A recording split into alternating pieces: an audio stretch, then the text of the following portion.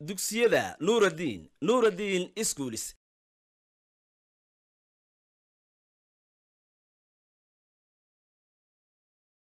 okay asalaamu calaykum waraxmat ullaahi wabarakaatu waa mar kale iyo macalin axmed yaasiin history teacher form four.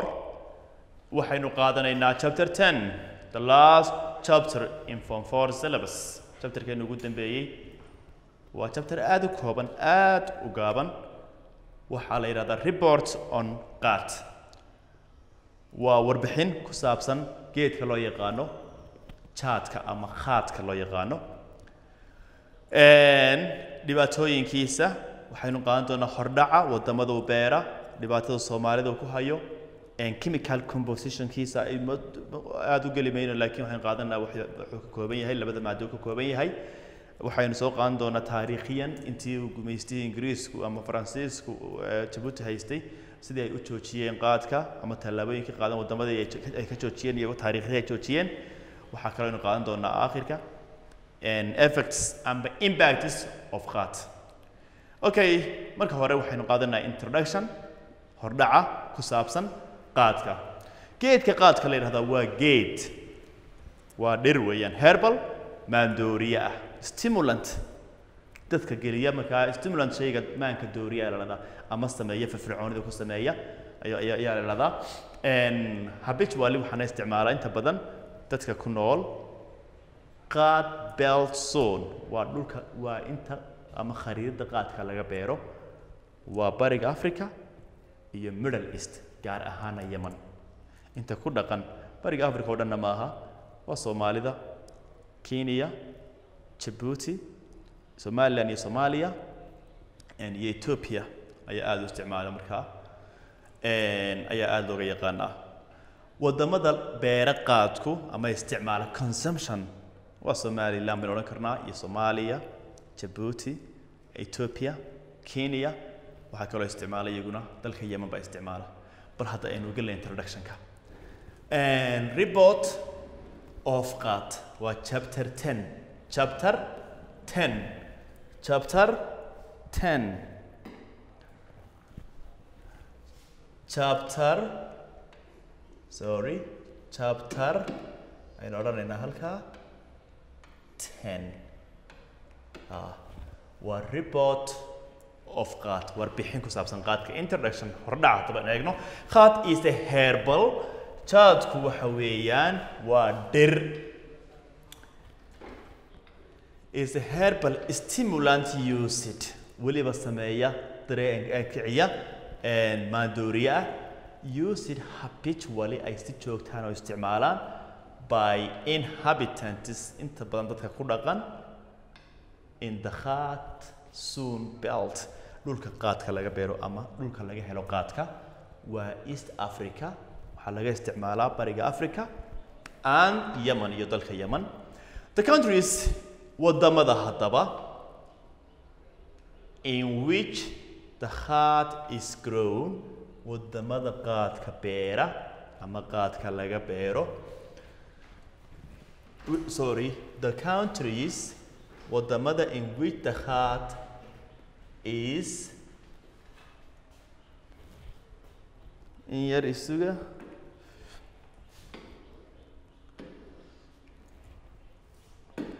grown or consume. Wadamada qaadka beera ama isticmaala consume isticmaala.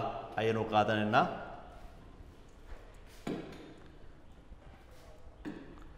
Okay. Qaad is mainly grown. Inta badan waxaa laga beeraa qaadka aan exported ama oo dhoofiya oo waxa beera oo dhoofiya ethiopia iyo kenya iyo yemen iyo uganda.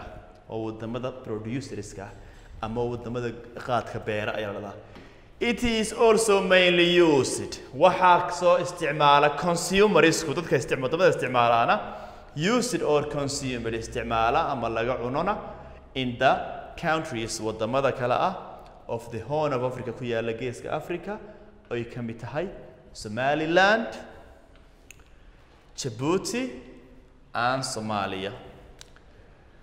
Okay how the heart? Haddaba sidee buu qaadku is used among the Somali people? Ama Somaliland people sidee baa looga isticmaalaa?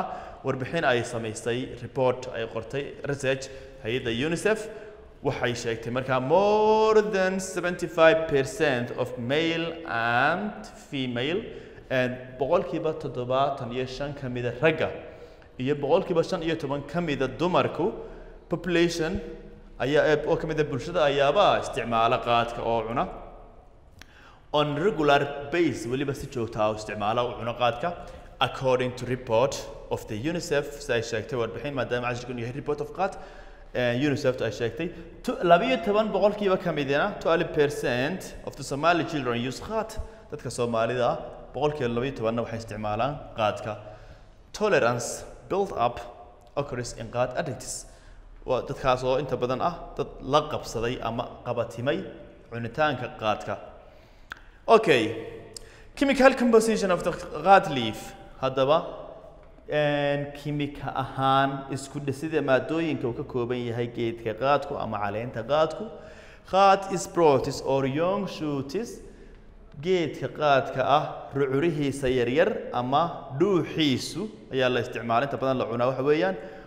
Ophitis leaves iyo caleentiisu ardosaurus waxaa laga helaa oo ku jira catinon maadada loo yaqaano catinon but laakiin maadadaasi this important chemical has maadadan muhiimka ah ee qaadka inta badan laga helaa has a short lifetime inta ay nooshahay ama ay ku jirto caleenta qaadku ama dhuuxa geedka qaadkii is only 48 hours sideed afar saacadood bay ku jirtaa after harvesting. Marka geedka laga soo gooyo maadadaasi sideed iyo afar saacadood ka baxaysaa halkii markaa way ka baxaysaa. And then it turns waxay isku beddeshaa maadadaasi. Markaasi waxay isku beddeshaa into catin maadada kale loo yaqaano catinta ayay isku beddeshaa a non active substance waa maadooyadu aan active ahayn ayaa oo la dhahdo catin ayay noqotaa kimika ahaan geedku wuxuu kooban yahay labada maado ee catinon iyo catin baynu odhanaynaa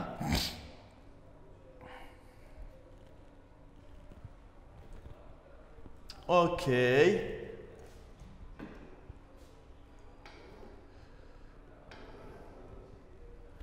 An addiction of the hard drug haddaba qabatinka qaadku bal daroogadan la yidhaahdo qaadka sidee loo qabatimaa addiction waxa weeyaan qofku markuu la qabsado drugska uu isticmaalayo ayaa la dhahdaa drug addicted. Qaadku wuxuu ka mid yahay daraagooyinka ay aadka u xoogan tahay la qabsigiisu qofkuna ay ku adkaato inuu daayo.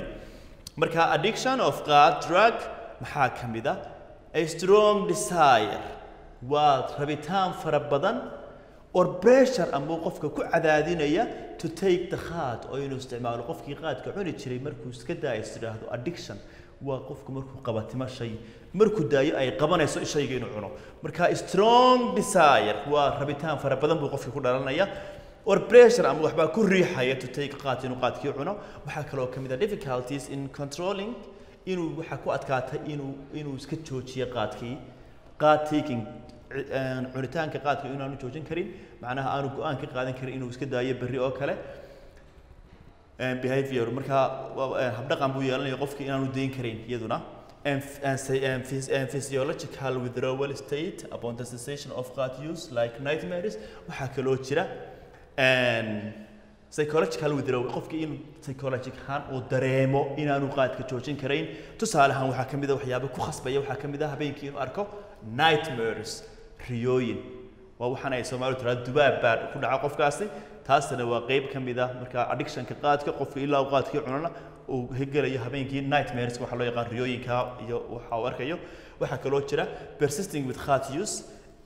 إنه قف كسي وضو وكل بسي وضو قال عنستي and despite evidence of harmful consequence isagoo qofkii og in uu dhibaato uu ku leeyahay qaadkani haddana uu sii wadayo cunitaankiisii waa addictionkiisa ayuu leeyahay.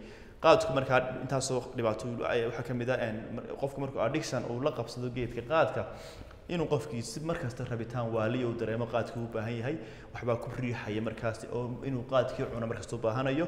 Waxaa kaloo jirta difficulty of controlling difficulty in controlling inaanu joojin karin qaadka qofkaasi. Qaad taking behavior oo qofkii qaadku doonayo markasta inuu qaato u cuno. Waxaa kaloo jira in qofkii ku dhaco wax loo yaqaano psychological problem waxaa ka mid a nightmares ama dreams inuu ku dhaco riyooyin iyo hurdo la'aan xitaa ay ku dhacdo marka qaarkood ama riyooyin xun oo markaa uu qofkii usas u yeesho. Eh, waxaa kaloo jirta inuu qofkii uu sii wadayo qaadka isagoo og haddana inuu dhaqaale ahaan iyo dhibaato isagoo ku hayo haddana aanu dayn karin. Marka taasi waa addiction waa la qabsigii qaadka. The historic the historic of uh, prohibition of qaad bal taariikhdii mamnuucista qaadka aynu eegno. Dhulka somalilan waxaa ka talin jiray dowladda ingiriiska halka soomaaliya uu ka talin jiray talyaanigu jabuutina faransiisku. Markaa bal qaadka taariikhdii la mamnuucay waynu eegi doonaa. The colonial administration of khat belsoon maamuladii gumaysi ee ka talin dhulka qaadka laga beero. Qaad belsoon waa halka intuu qaadka laga helo weeye. Imposed waxay ku soo rogeen maamulkii gumaystaha ee dhulka qaadka laga beero waxay ku soo rogeen khaad ban legislation shuruuc lagu joojinayo qaadka. Waxaa ka mid ahaana markaa kenya 1945 ilaa 56 buu dowladda far ingiriisku rogay in qaadka laga joojiyo beeritaankiisa iyo cunitaankiisaba Djibouti 1956 ilaa 1957 ayaa isna laga joojiyey oo Faransiisku ka mamnuucay. Somaliland ayuu isna ka mamnuucay Ingiriisku 1921 ilaa 1957kii Yemen waxaa haystay isna Ingiriiska waxa uu sameeyey ban joojin buu ku sameeyey 1957 ilaa iyo 1958kii The main purpose was to stop the economic sababta ugu weyn ee loo joojinayna waxay ahayd was the main um, purpose ujeedada ugu weyn loo sameynayay in qaadka uu joojiyo ama uh, gumaystuhu joojinayay was to stop the economic drain in la joojiyo dhaqaalaha faraha badan lee ku baxaya qaadka and to safeguard the productivity of the individuals lana badbaadiyo wax soo saarka shakhsiyaadka bulshada oo baalkani maadaama qaadkan uu keenayo waqti lumis dadkii uu ku keenayo sababahaas uu joojiyey markaa okay and international ban legislation on qaad waxaynu qaadanaynaa waddamada sida caalamiga ama shuruucda caalamiga ah ee waddamada soo waddamada joojiyey qaadka. Wadamada joojiyey ama ka dhigay sharci darro ama draag draago ka dhigay qaadka ayaynu eegaynaa. Waxaa ka mid a wadanka canada USA baa ka mid a ugu horeysa Canada ee ka mid a Denmark baa ka mid a Sweden baa ka mid a Finland baa ka mid a Norway Switzerland Italy Saudi Arabia Morocco UK and number of Arab and Muslim countries. Iyo wadamo kale oo carbeed iyo qaar muslimiin aba ayaa put the whole hard plant under national control. Dhammaan qaadka waxay ku soo rogeen in aanu waddamadooda soo geli karin waxay ka dhigeen drug bay ka dhigeen sida kokayinta iyo herointa iyo darooyinkaasi loo mamnuucay ay u mamnuuceen waddamadaasi haddaba qaad effects saamaynta qaadka. Geedka qaadku saamayn badan buu keenaa. Wuxuu keenaa social effect ama social impact saamayn bulshood. Wuxuu keenaa economic impact ama effect saamayn dhaqaale ayuu keenaa. Een, waxaa kaloo keenaa oo kale saameyn xagga caafimaadka dhibaatooyinkaasoo dhan buu qaadku leeyahay bal aynu eegno. Heart effects saameynta geedka qaadka. Heart effects the short term waxaynu isu kala qaadi doonaa long term effect iyo short term effect geedka qaadka. Short term effect ee saameynta gaaban. Waxaa ka mid ah irritability qofka oo deganaanshiye la'aan dareema iyo inuu qofku si degdeg ah iskaga cadhoodo.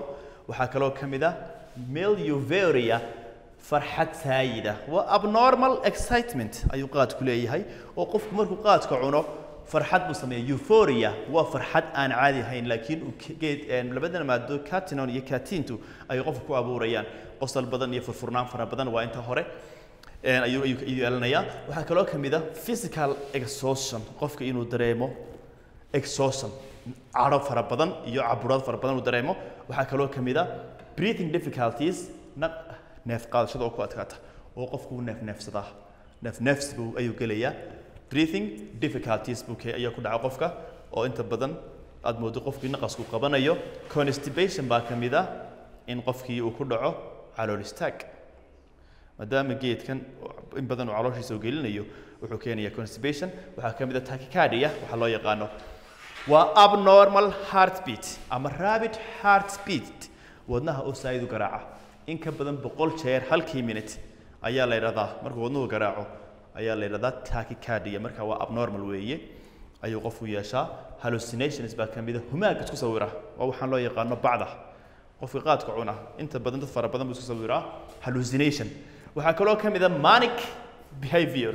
Afcaal waaliya ficilo waaliya oo kale ayuu sameeya ama hyperactivity ficilo qofka kale aanu samayn karin markaan caadiga yahay macnaha ayuu qofka sameeya. Shaqooyin fara badan wax aan loo dirin uu qabto ayuu sameynayaa manic behavior waa habdhaqan waali oo kale ah ama hyperactivity ama firfircooni saayida. Ayuu yeelanayaa. Increased alertness. Waxaa kaloo yeelanayaa feejignaan saayida. Waa waxa la yidhaahdo qofku inuu noqdo qof wada dareena maxaa dhacay maxaa maxaa kaa maray halka bac buu qaadaya qofkii and concentration. Fara badanna uu yeelanaya wax walba concentration buu siinayaa waxaa wata geedkan qaadka ayaa wata. Waxaa kaloo jira increased motor activity. Waxaa kaloo jira waxa bata oo saayid noqonaya. Activityga qofka waa intaa hore laakiin hourskaa hore oo dhan ayuu la imanayaa marxaladahaasi. Dhammaantood waa abnormal weeye oo qofka caadigii ma sameeyo inta faraha badan.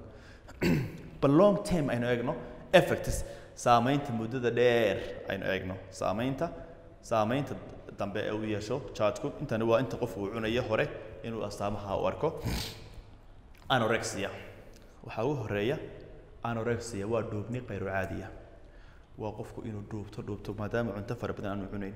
Badi qabsinadii iyo xidmihii caloosha. Qaadku markuu galo qofka waxaa ku dhaca poor appetite kadibna waxaa ku dhacaya in cuntadii faraha badneed qofku qaadan kari waayo wax yar uu ka cuno qofkii waxaa ku dhacaya anorexia. Anorexia waa un abnormal weight loss waa dhuubni aan caadi ahayn. Waxaa kaloo ka mid ah gastric disorders in caloosha uu kaga dhaco cilladay kaga dhacaan oo gastric uu yeesho waxaan dhahnaa gastriga waa cillad calooleed. Depression baa ka mid a waa stress ama werwer iyo walaac iyo walbahaar fara badan baa ku dhaca high risk for heart disease. Qofkaasi wuxuu halis ugu jiraa weliba qaadka cunaa inta badan wadna xanuun inuu ku dhaco. Waxaa kaloo ka mid a aan cancer iyo weliba kansarka uu ku dhaco of the mouse caloo kansarka afka iyo weliba kansarka hunguriga iyo kansarka caloosha. Intaa uu marayo o dhan inuu qaadku keenana waa la sheegay oo la ogaaday. Waxaa kaloo ka mid a tachycardia. Waxaa kaloo ka mid a iyaduna waxa weeyaan maxay elevated heart. Waa wadnaha garaaciisa oo marna hoos u dhaca marna kor u dhaca marna aada u bata. Taasina waa cillad. Hadhowna wadna xanuun bay keeni kartaa waxaa kaloo jira liver damage beerka. Suntan faraha badan kolley kimikada waxaa ku jira sun. Qaadka markaa kimikadiisan qofku cunayo amountiisa ku xidhan tahay beerku wuu ururiyaa. Wax alla wixii poisona ama toxica markaa liver damage wuxuu keenaa in beerka uu dhaawac ku yimaado aan cardiac complication iyo cillado ku yimaado wadnaha. Cardiac waa wadnaha la yidhahdaa. Dhibaatooyinkaasoo dhan buu qaadku leeyahay. Okay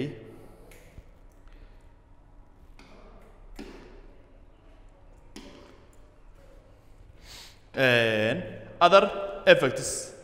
Are including saamaynta kale ee qaadka waxaa ka mid a other effects saamaynta kale ee qaadku leeyahay waxaa ka mid a other effects saamaynta kale ee qaadka waxaa ka mid a qaad increases the risk of mental illness. Qaadku wuxuu kordhiyaa wuxuu keenaa inta badan mental illness waa xanuun xagga dhimirka ama maskaxda ayuu keenaa. Waxaa kaloo jira qaadku wuxuu leeyahay qaad challenges food security and contributed to the malnut- malnutrition. Qaadku wuxuu la dagaalamaa inta badan eh, security. Food security waa cuntadii qofku cuni lahaa and contribute waxaanu ka qayb qaataa markaa malnutrition in nafaqa daraan qofku ku dhacdo waxaa kaloo keena qaadku oo cuntadii la ama cuntadii la beeri lahaa ayaa qaad lagu bedelaa taasna waxay keentaa in ummadaasi ay dee dhulkaasi noqdo dhul waxba aan laga beerin qaadan soo saara. Dhinaca kale haddaan eegana qaadku dadka cunaya wuxuu ka joojiya cuntada taasna waxay keenaysaa malnutrition waxaa kaloo jirta qaad has partially negative effect on women. Wuxuu saameyn fara badan ku yeeshaa weliba particularly si gaar ahaaneed buu saa- saameyn togan ugu yeeshaa of women dumarka children iyo carruurta oo ninkii qaadka cunayay inta badan markuu dayaco caruurtii iyo dumarkiiba u darayoobayaan. Taasina waa problem weyn weeyaan. Haddii aan eegno hadday gabadhu qayshana inkastoo ay ku badnayn gabdhuhu waxay keenaysaa in caruurteediina ay noqoto qaar bilaa nafaqa ah iyadiina ay dayacanto. Okay waxaa kaloo jirta saameynta kale dhibaatada kale ka dhalata qaadka waxaa ka mid ah qaad is a very drain on household. Wuxuu aad u waxyeeleeyaa ama uu u dhameeyaa on household budget miisaaniyadda qoyska.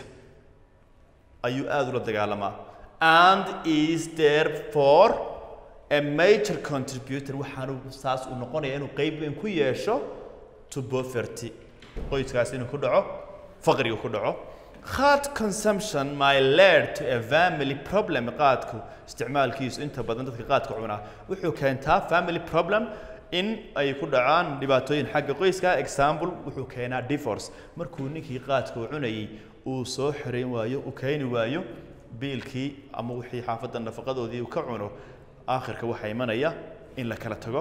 Waxaa kaloo ka mida qaadku wuxuu leeyahay qaad consumption transforms somali values wuxuu lumiyey oo bedelay qiyamkii iyo dhaqankii wanaagsanaa ee soomaalida ayuu bedelay oo ka dhigay ummad wada daroogistayaala. Taasina waa problem. Qaad is a major hard currency drain. Waxaa kaloo ka- mi- ka mid a in qaadku yahay shayga ugu weyn ee inaga dila lacagta adag aynu leenahay dalku leeyahay oo loo diro etoobiya oo laga soo iibsado. Waa qodobka ugu weyn ee keena khasaaraha dhaqaale ee hard currency lacagta adag ee waddanku leeyahay ku baxdo estimated at, at about waxaa lagu qiyaasa lacagta inaga baxdo sannadkii laba boqol iyo konton milyan oo dollar a yearly sanadkiiba. Halkaasaynu kaga baxaynaa chapterkii u dambeeyey chapter tan ee qaadka. Waxaan idin rajaynaya khayr fara badan idinkii waalidiintiinaba. Ilaahay isu keen soo celiya inagoo caafimaad qabna. Assalaamu calaykum waraxmat ullahi tacaala wabarakaatu